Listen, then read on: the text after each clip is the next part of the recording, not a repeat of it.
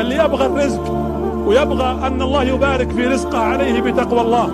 والله إن التقوى والصبر على طاعة الله ومرضاته وترك معاصيه والبعد عن الفواحش والمحرمات باب من أبواب الرزق والبركة. ما يلقاها إلا الذين صبروا. وما يلقاها إلا ذو حظ عظيم. الذي يصبر ويحتسب. ستفتح لك الأبواب لأنك تخاطب رب الأرباب. من يملك خزائن السماوات والأرض يملك أن يقويك وأن يرزقك وأن يعطيك وأن يرفعك وأن يسترك وأن يرزقك لأنه الله الواحد الأحد إنه من يتقي ويصبر فإن الله لا يضيع